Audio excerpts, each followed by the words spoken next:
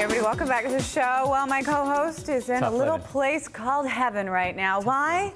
It's in a bottle. Yeah, it is. And of course, Father's Day coming up this Sunday. So if you're looking for that perfect present for dad, I think a single malt scotch might fit the bill. We are joined by Jay Wheelock, brand ambassador for Macallan Hello. and Highland Park.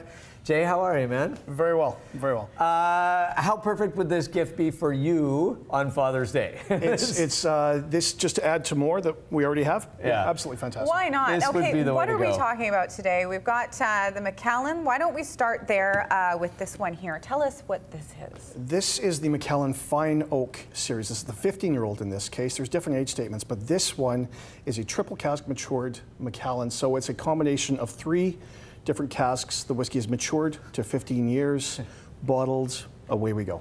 What actually defines Scotch? Because people hear whiskey and, and there's some confusion there, right? You get American whiskey, you get uh, Scotch whiskey. What's the difference? Scotch, in this case, single malt, uh, is made from malted barley, germinated barley. Okay. 100%. That's the base ingredient. That's protected by law.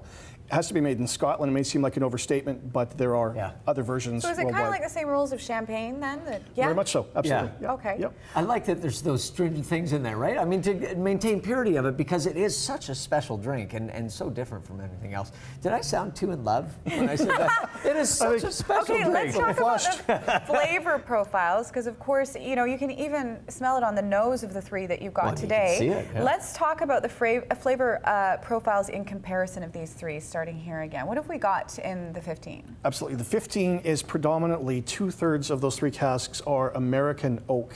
And American oak gives a leaner, lighter uh, complexity to the whiskey, which is very fresh and very fun and easy to drink. It's a good aperitif style whiskey and uh, good for a newer consumer or on a hot day. when we little- yeah, those. right. Little Okay, ice and little ice on it? sit Absolutely. on the patio. Uh, what about this? This is a big boy. This one a little bit. This one, this is big sherry, full maturation, 18 years in European sherry oak casks. Very rich, very sweet, very invested flavor profile. And you what can does see it mean to have a sherry oaked cask? What does that do? The, the sherry oak cask uh, from Spain, they uh, traditionally have been used uh, for maturation for sherry, which is uh, Spain's national drink. And in this case, we put our whiskeys in it, and it's, it's a very porous wood, and it sucks up all that flavor, the dark, the, the complexities, and that sweet, nutty You're the same passion that I, know, from well, you. when you look in the glass, I mean, you can see when, in, you know, that's some of the sherry in there. That color and that that caramelly sort of uh, profile to it, and the Very view much and so. everything. So this is the 15, this is the 18. correct, yeah. And let's talk about the, Highland Highland, Park. Park. Uh, tell us about the flavor profile here and how it's different from the Macallan. Highland Park, uh, using the same sherry oak casks, but in this case, we have a peated whiskey. It has a smoky, sort of earthy characteristic. And when you hear peated, you hear that word often when you're talking about Scotch. Maybe you can explain a little bit more about that. uh, during the process uh, after the barley is germinated and it's ready to be ground up to be made into what's essentially distiller's beer and then distilled. We use peat, which is uh, you know organic sort of material dug out of the ground. Like sod. Absolutely, Yeah. absolutely. And they dry the barley with it, and it sticks to the barley. And even after distillation, that flavor is still there, which can be desirable.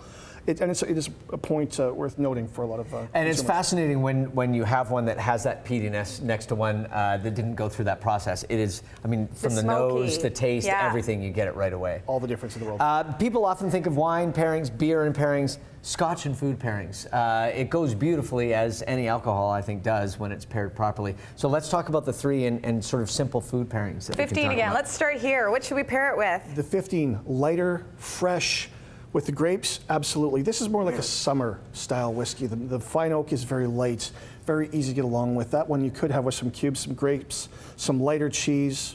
Perfect. Fiona, I don't want to be rude, but could you pass me that just so I can oh, make well, you sure know what? that My Jay next knows what he's question talking was, about? what would you like to try? You're going to go for the 15? I, I am going to go for the 18. I think it's important that someone is here Someone to taste. verify what Jay is Of saying. course. That's all. Let's talk about the 18. What kind of food pairing should we do with this one?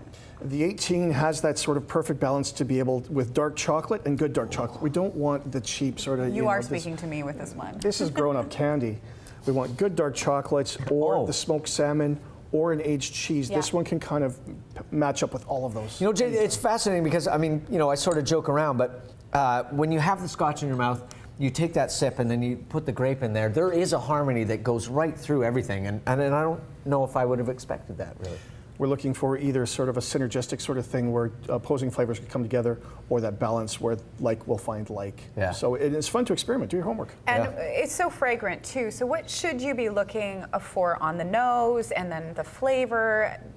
Is it the same as wine? The same sort of way you taste it? Essentially, yeah. When you're nosing this, different than wine though, we wouldn't swirl it because swirling does agitate it. It's 40%. Oh, I've Uh-oh, been agitated. I've been swirling. it mad. Okay.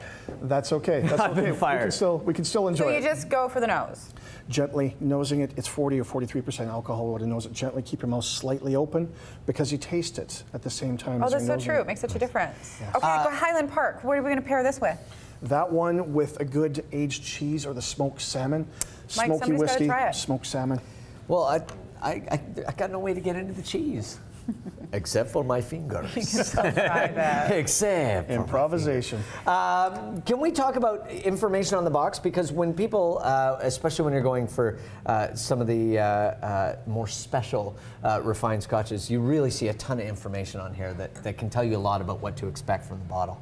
How do you actually define all this and look at it all? And this is designed for the consumer as well too, because sometimes you can go to a store and your experience could be very short. You want information now. It's an important buying decision. First of all, you're looking for primarily an age statement, a 15 or an 18 in this case.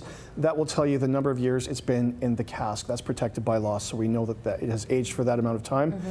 With the uh, with the fine oak, it, it indicates three different casks on the front. And the Macallan and Highland Park 18s both have accolades on the front as well too. So if you're looking for sort of legitimacy from a whiskey writer or you're looking for flavor profile, it should usually be indicated on the It'll package. I always find an the best idea. thing to do is just go to a specialty store where there's someone there who knows and describe who you're getting it for. If you're getting it for yourself, just learn a bit about it because it's so fascinating to get all the info. Absolutely. And uh, the other great idea too is just to buy Get a bunch three. of different scotches, so that for every occasion you can think of, you have an appropriate scotch for uh, for that celebration. I'm available for that party.